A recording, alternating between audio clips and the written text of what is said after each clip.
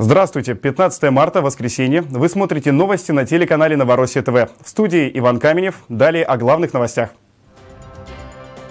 В Одессе повесили Яценюка за продажу Украины в рабство МВФ. Гуманитарный конвой из России доставил в Донецкую Народную Республику материалы для посевной. Жители Земли 20 марта увидят солнечное затмение. 15 марта отмечается День работников бытового обслуживания населения и жилищно-коммунального хозяйства. Невозможно переоценить значимость профессионализма и ответственности тех, кто трудится в сфере жилищно-коммунального хозяйства. Работники этой отрасли неутомимо трудятся, чтобы в наших жилищах всегда была вода, газ, тепло и свет, чтобы радовали глаз парки и скверы, улицы и дороги, дворы и подъезды. Мы искренне благодарны всем тем, кто в это нелегкое время не оставил нас и, несмотря на обстрелы, добросовестно выполнял свою работу, заботясь о нашем быте и благоустройстве наших городов. Искренне и огромное вам спасибо. Светлая память тем, кого с нами уже нет. Население Новороссии оказалось на грани гуманитарной катастрофы из-за транспортной и экономической блокады со стороны Киева. Мирные жители нуждаются в самом необходимом – продуктах, медикаментах, стройматериалах. А с приходом весны под угрозой срыва оказалась посевная кампания. Благодаря помощи россиян посевной сезон в республиках начнется вовремя. 15 марта на территорию Донецкой и Луганской народных республик зашла колонна с гуманитарным грузом из Российской Федерации. Более 80 машин привезли в Донецк и Луганск свыше 700 тонн груза, в состав которого вошли минеральные удобрения, семена для проведения весенних пассивных работ, которые начнутся в ближайшее время. Э, пришел первый неочередной э, конвой, который предназначен непосредственно для проведения пассивной кампании в Донецкой народной республике. В данном конвое пришла э, удобрение мячная селита в размере 100 тонн, э, удобрение амофос в размере 100 тонн, э, непосредственно агрохимикаты, протравители и так далее, то, что необходимо непосредственно для проведения посевной кампании. И э, также, помимо этого всего, пришел, пришло ячмень, который э, будет непосредственно засеян. Данный посевной материал является крайне необходимым для республики, ввиду того, что собственных запасов зерновых культур для посева крайне мало. Уже завтра весь полученный груз будет распределен между сельхозпроизводителями, которые начнут работу. Также в состав груза вошла небольшая часть стройматериалов для ремонта поврежденных социально значимых зданий инфраструктуры. И еще в составе груза приехало 60 тонн профильного настила, который сейчас закрываются наши склады, закрываются школы, больницы и садики. А, по территории Луганска и Донецк груз распределен равномерно. Это более, 8, более 80 машин всего, более 40 машин в каждую сторону прибыло. Э, ну, если считать, где-то свыше 350-370 тонн, э, как в Луганск, так и в Донецк э, равномерно распределено. И как вы видите, здесь в Донецке и в Луганске одновременно прибыло колонна также распределяется. Также сейчас идет разгрузка. Грузовики были разгружены в течение трех часов, после чего отправились обратно в Ростовскую область. Анна Триксель, Максим Крапивка. Специально для Новороссия ТВ. Русины, один из народов, проживающих на территории Украины, потребовали предоставить им автономию. Такое решение принял съезд русинских организаций Закарпатья, который накануне прошел в Мукачево. Участники форума намерены добиваться выполнения своих требований путем диалога с официальным Киевом. Речь прежде всего идет о признании итогов референдума, который прошел еще в 1991 году. Около 80% его участников проголосовали за автономный статус региона. Однако украинские власти до сих пор даже не признают русинов отдельным народом. Также русины требуют от Киева официально признать их национальным меньшинством, требуют признания русинского языка, введения его в школьные программы и открытия кафедры русинского языка при Ужгородском национальном университете, а также открытие национальных программ на местном радио и телевидении. Под соответствующим обращением к президенту Украины и депутатам Верховной Рады подписалось уже 10 тысяч человек. Жители Харькова вышли на митинг возле объединенного военкомата Дзержинского, Ленинского, Октябрьского районов на Полтавском шоссе, требуя прекратить мобилизацию, которую сами они называют могилизацией. Основную часть протестующих составили женщины, которые требуют, чтобы их мужей, сыновей, внуков не забирали на войну.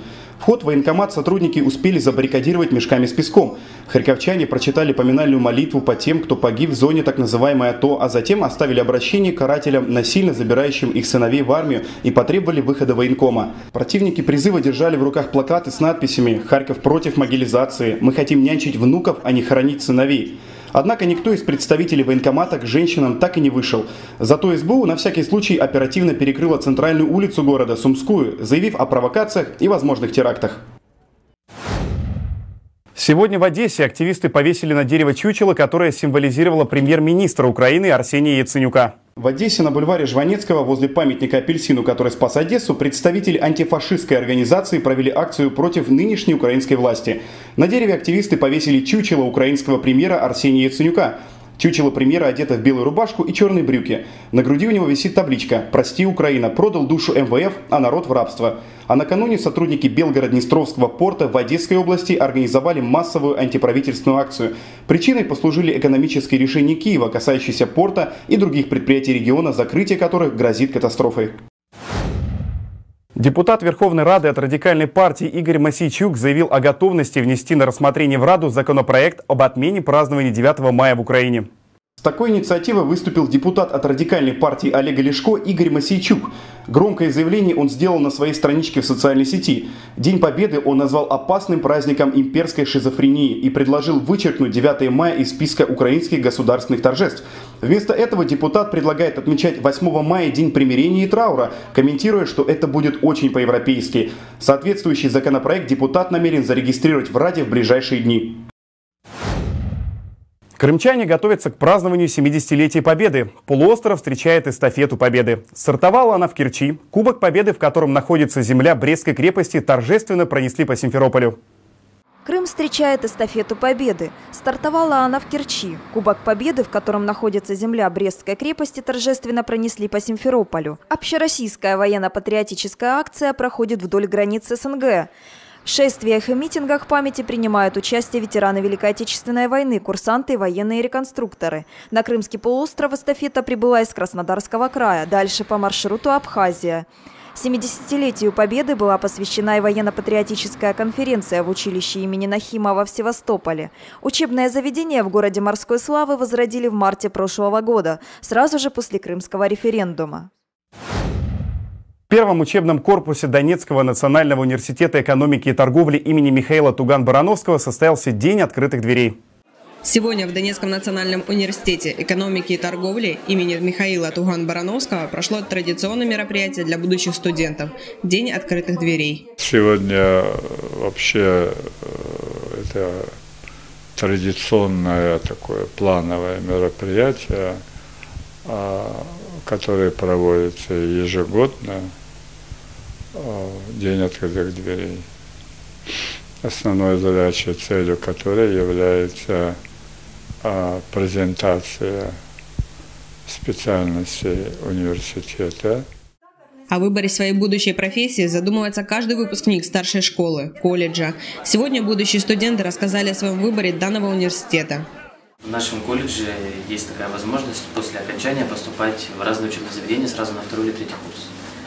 И так как мы учимся на специальности товароведения и фермерская деятельность, у нас есть выбор между маркетингом, э, непродовольственными продовольственными товарами, да, экономикой. Интересная специальность, друзья многие знакомые учатся. Ну, интересный таможенный бизнес, туризм и менеджмент.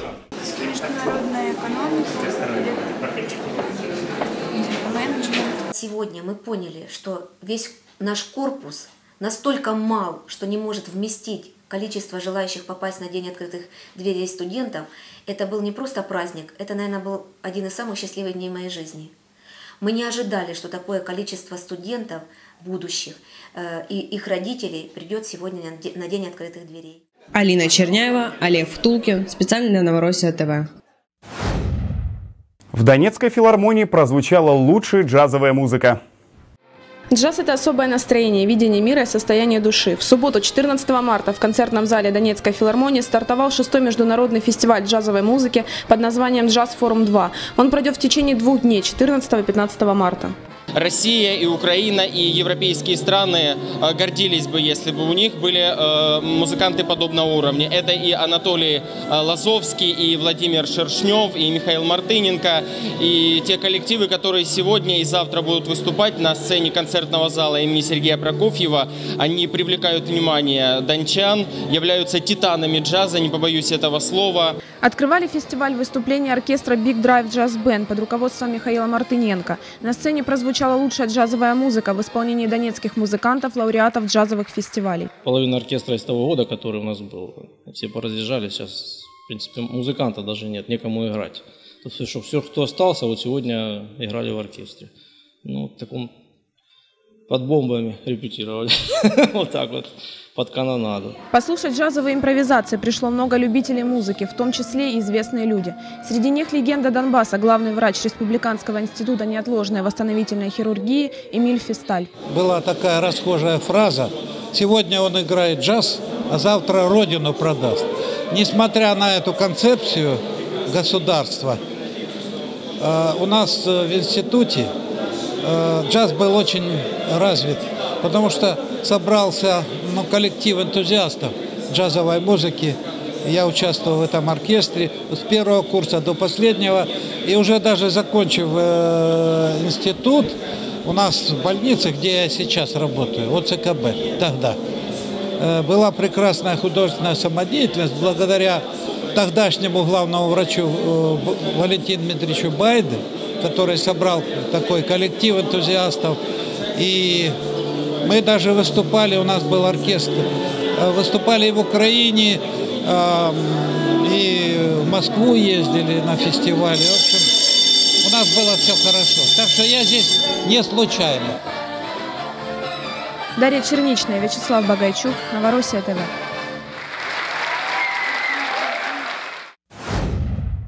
Во Дворце детского и юношеского творчества прошел республиканский турнир по спортивным бальным танцам. 15 марта состоялся республиканский турнир по спортивным бальным танцам под названием «Весенняя фантазия-2015». Мероприятие проходило в Донецком дворце детского и юношеского творчества. В турнире соревновались участники от 5 до 25 лет.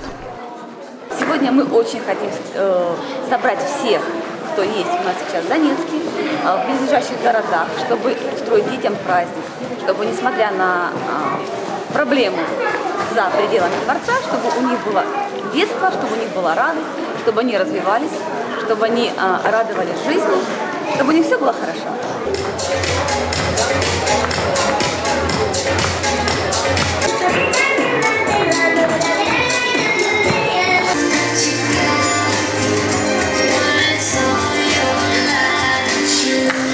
Вечна, поэтому, несмотря на тяжелое время в Донецкой Народной Республике, мы должны формировать в подрастающем поколении творческий, патриотический и спортивный дух. Призы, сладкие призы, детские игрушки, которые будут радовать их на протяжении года до следующего года, пока не пройдет следующее наше мероприятие. Дорогие друзья, ваши аплодисменты. Дарья Черничная, Геннадий Горбунов, Новороссия ТВ. Предстоящую пятницу 20 марта жители Земли увидят впечатляющее астрономическое явление, одно из самых масштабных солнечных затмений за последние 16 лет. Этим невероятным зрелищем смогут насладиться и дончане. Тень Луны начнет движение по Земле в 9 часов 9 минут по всемирному времени. Свой путь она начнет с Атлантического океана близ берегов Гренландии и Канады и завершит в 10 часов 21 минуту на Северном полюсе. Дольше всего за солнечным затмением можно будет наблюдать на Фарерских островах, которые входят в состав королевства Дании и расположены между Исландией и Шотландией. Это действие займет там 2 минуты 47 секунд. При этом ширина тени Луны достигнет 462 километров. Неполное затмение, когда Солнце будет закрыто Луной примерно на 60%, увидят также жители Европы и Африки. Полюбоваться уникальным явлением можно будет и в Донецкой Народной Республике. Дончанам посчастливится увидеть затмение в 10 часов 17 минут. Луна закроет Солнце на 39%. Это все новости к этому часу. В студии был Иван Каменев. Далее вас ждет прогноз погоды. Оставайтесь с нами и смотрите новости на телеканале Новороссия ТВ.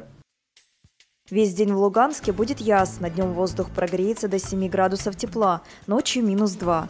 Весь день в Алчевске небо будет оставаться ясным. Только к вечеру появятся тучи, без осадков. Температура плюс 8 днем, ночью минус 2. В Северодонецке будет ясно, лишь к вечеру на небе появятся облака. Без осадков, ночью минус 2, днем столбик термометра достигнет отметки плюс 9 градусов.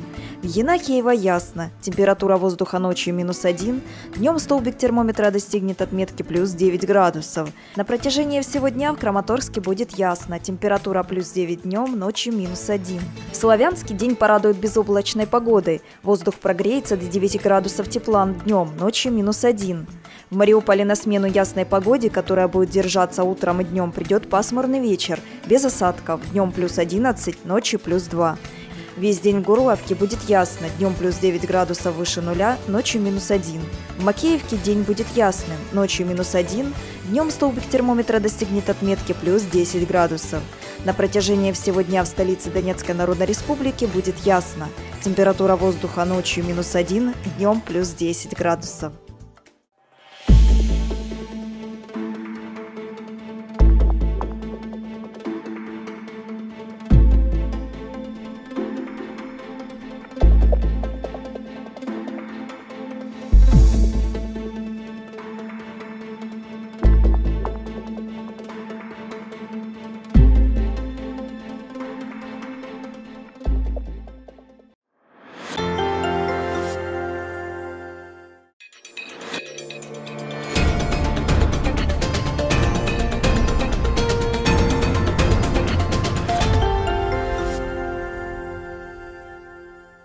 Здравствуйте, в эфире новости спорта. В студии для вас работает Сергей Михайлов.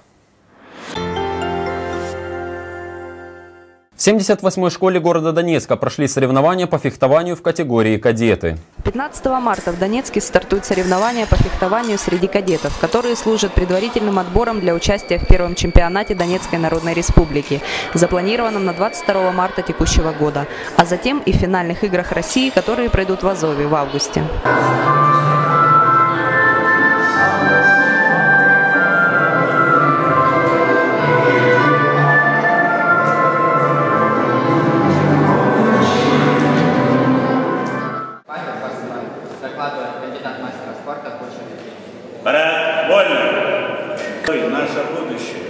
Наша надежда.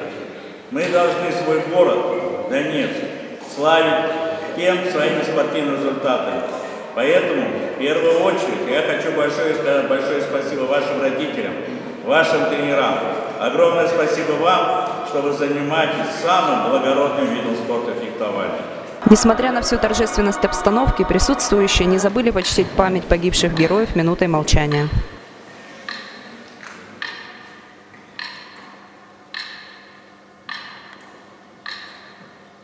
Как сообщил главный тренер Тахир Шагиев, фехтовальный клуб находится в одном из самых опасных районов нашего города, который часто подвергался артиллерийским обстрелам украинской армии. Так некоторые ребята потеряли своих родителей. Теперь секция стала для них настоящей отдушиной, а соревнования – возможностью реализоваться в спорте. Еще у нас будет э, встреча хорошая встреча, которой мы поедем в мае. Быстрее всего или город Казань, один из сильнейших турниров, или город Волгоград, которые мы хотели принять участие и проверят наших бойцов, которые могут дать какие-то результаты. Первое место среди девочек заняла Виктория Чумак. Среди юношей одержал победу Курпниек Данил. В это нелегкое время главной задачей руководства клуба является сохранить этот благородный спорт в нашей республике. Сегодня эти юные спортсмены уверенно утверждают, что Донбасс живет. Кристина Визерова, Сергей Михайлов, Новороссия ТВ. На сегодня это все новости спорта. В студии для вас работал Сергей Михайлов. Оставайтесь с нами. Всего вам доброго. До свидания.